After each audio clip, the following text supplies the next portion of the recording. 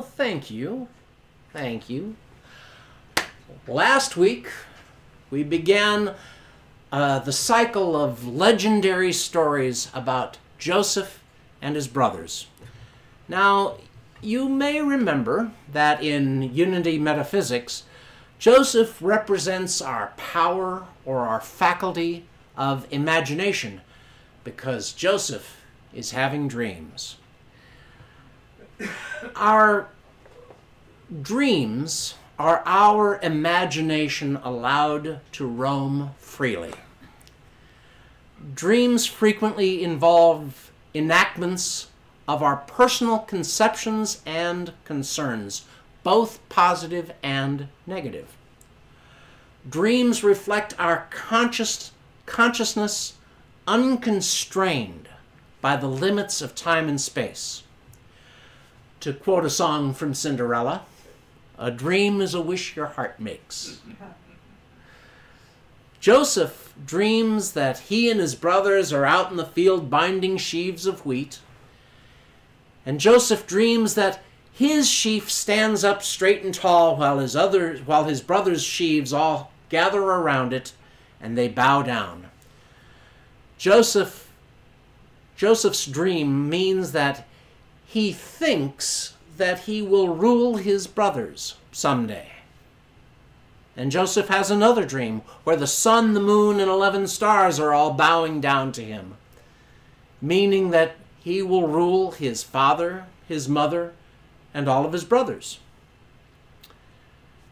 Joseph represents our power of imagination, but at this point in the story, Joseph displays very poor judgment and a lack of discipline because instead of keeping his big mouth shut, he tells his family about his dreams.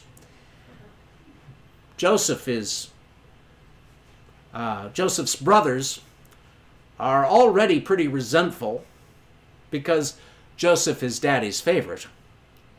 And this part of the story exemplifies the helpful, practical lessons that we can take directly from the Bible. Please do not share your dreams. Do not share your goals, your aspirations with anyone, even people that you love, unless you know, unless you know that you know that you know that they will support you 120%. Do not tell your parents, do not tell your siblings, your spouses, your lovers, do not tell your bosses or coworkers, do not tell anyone who might try to talk you out of your dream. Now, some of you are lucky. Some of you have a prayer partner. A prayer partner's job is to hold your confidence, to keep your secrets, and support your vision. And I'll give you an example here. You all are my prayer partner for this for this uh, example. Uh, you're my prayer partner, and I come to you and say, I want to enter the Lincoln Marathon and I'm going to win. Now, everyone else in my world, all of those people out there, not you all, you're my prayer partners. Everybody else in my world would take a look at my age and my physical condition and say, You're crazy. you can't do that. Uh, now, if they're more supportive, maybe they maybe they are friendly and they're more supportive, and they might tell me, "Well, you're going to have to get in shape. You're going to have to lose 20 or 30 pounds and start training hard every day." But even then, you're never going to win because you're up against the best runners of, in Nebraska. At best, your supporters will, my supporters will see me taking the intermediate steps required, but they're not going to see me winning. But you're my prayer partner. And you, and I know that you are going to support my dreams and my visions 120%. I tell you my dream, and you tell me, I see you crossing the finish line with your arms stretched out in victory. That's a prayer partner's job. So Joseph tells his family about his dreams. And his brothers are so upset, so angry, that they one day they see Joseph heading toward them and they start making plans. They say to one another, and this is Genesis 37 19, Here comes this dreamer. Come now, let us kill him and throw him into one of these pits, and then we shall say that a wild beast has devoured him. And we will see about these dreams. But then the oldest brother, Reuben, hears this and he says, Well, don't, don't kill him. Shed no blood. Cast him into this pit here in this wilderness, but lay no hand upon him. That seems like a. Don't you have to lay hands on somebody in order to throw them into a pit? Anyway, so Joseph, he's, he comes to his brothers and they, they take his robe, they take that coat of many colors. Symbolically, they steal his dreams and they cast him into a pit. And just then, a caravan, a caravan of Ishmaelites or Midianites, one writer tells, calls them Ishmaelites, one writer calls them Midianites, and I think last week I called them Gadites, as long as they're not mosquito bites. anyway, uh, the Ishmaelites wander by, and one of the brothers, Judah, gets the bright idea to sell Joseph into slavery. Sell Joseph to the Ishmaelites. The brothers take that robe, that coat of many colors, and they, they rip it up, they smear blood on it, and they take it to Jacob, their father. And the brothers tell Jacob that a wild beast has killed and ate Joseph. What a marvelous story of brotherly love. I wonder if my brothers or sister ever wanted to sell me into slavery. Alice? you back there?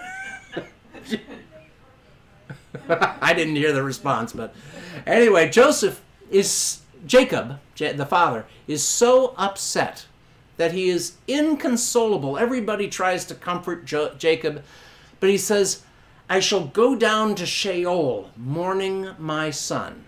Now, here's a little bit of Bible. Sheol is the place of the big sleep. In ancient Hebrew thought, there is no heaven or hell, no, not really any afterlife. When you die, you just go to the big sleep. That's it. That's you're done. Food for worms. Uh, so, good people, bad people, doesn't matter. Indifferent. When you died, you went to Sheol, the place of the big sleep. But meanwhile, the Ishmaelites, or the Midianites, or the Mosquitobites, they go down into Egypt and they sell Joseph to a guy named Potiphar. And Potiphar is an officer in Pharaoh's army. So Joseph is now Potiphar's slave or indentured servant. Genesis uh, 39 2 says, The Lord was with Joseph, and he became a successful man. Now, Joseph is a slave, an indentured servant, and yet he is becoming successful. Potiphar saw that the Lord was with Joseph and caught, no wonder I'm having a hard time. I'm not wearing my glasses. There you are. There! All of a sudden, those blurry words got a lot clearer. Okay. okay, so uh, Potiphar saw that the Lord was with Joseph and caused all that he did to prosper in his hands.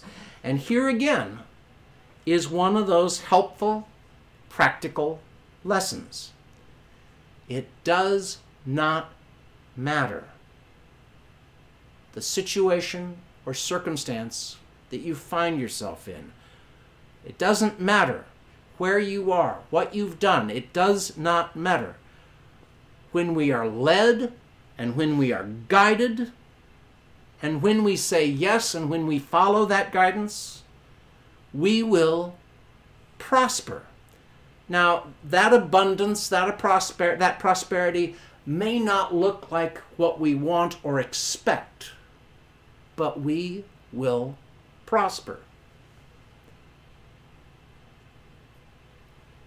We may still have work to do, but we will prosper.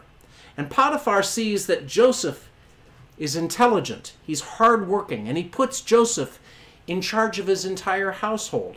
Everything that he has, Joseph is, is the guy that's making decisions for the household when Potiphar's away.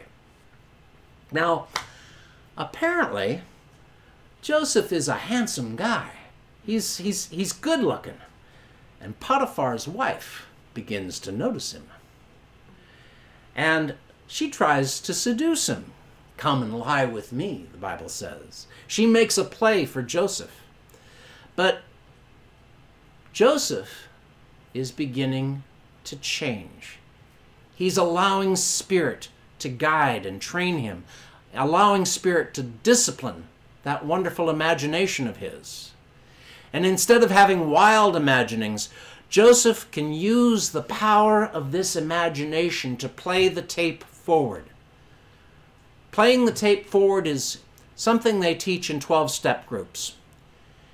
If I follow this course of action, I can play the tape forward and I can imagine the outcome. Let me see. Now, the last hundred times or so that I took a drink, bad things happened. I cracked up the car, or I landed in jail, or I mouthed off to my boss, or I cheated on my spouse. But I can play the tape forward. And instead of taking that drink, I can play the tape forward and imagine the consequences of my actions. Joseph can play the tape forward knowing that bad things will happen if he sleeps with Potiphar's wife. So Joseph refuses. But as he turns away, she grabs his clothes, and Joseph gets away, but leaves her holding his garment. And then Potiphar's wife turns the whole thing around and accuses Joseph. She tells her husband, this is Genesis 39 17, this Hebrew servant whom you brought among us. She's trying to blame not only Joseph, but also blaming Potiphar. She's uh, this Hebrew servant came to me to insult me, but as soon as I lifted my voice, he left his garment and fled. Now, who's Potiphar going to believe? His wife or this some nobody slave? So, Joseph winds up in prison. But Potiphar must have known the ways of his wife. She might he might have known that she had a wandering eye. If a servant attacked a slave, if a servant, a slave attacked the master's wife, what do you think was going to happen? You know, he he wouldn't just land in prison. Potiphar would have killed him. So Joseph is in prison. But again, the Bible says the Lord was with Joseph. Even in prison, he finds favor with the jailkeeper, who makes Joseph a, a kind of a trustee in charge of the other prisoners. Genesis 39:23 The prison keeper paid no heed to anything in Joseph's care because the Lord was with him. And whatever he did, the Lord made it prosper. Again, it doesn't matter what your situation, what your circumstances are. It does not matter where we find ourselves. When we are led and when we are guided, when we say yes and follow our guidance, we will prosper.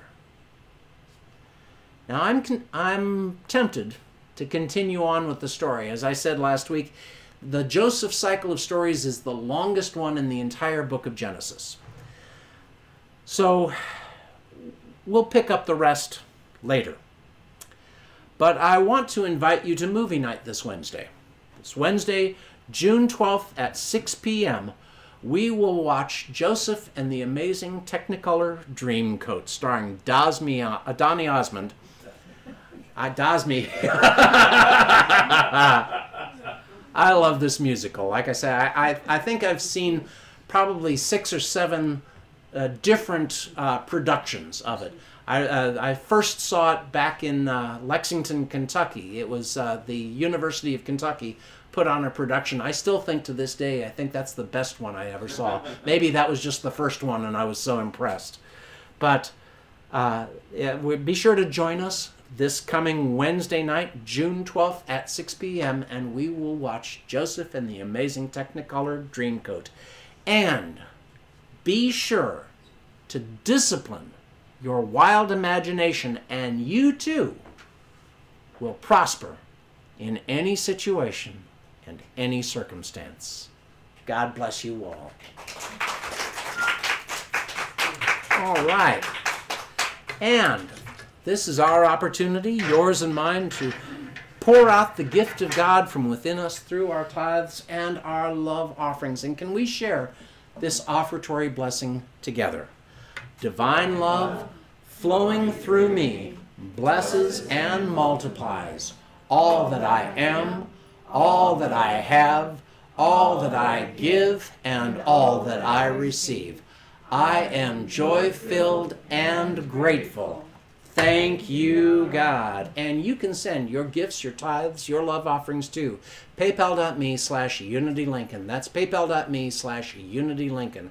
You can also support Unity Lincoln by sending your gift to Unity Lincoln, P.O. Box 30209, Lincoln, Nebraska 68503. Or you can go to our webpage at unitylincoln.org, and there you will find a convenient link to donate via PayPal. You can also help support Unity Lincoln by liking us on Facebook and subscribing on YouTube. And God gives it back to you.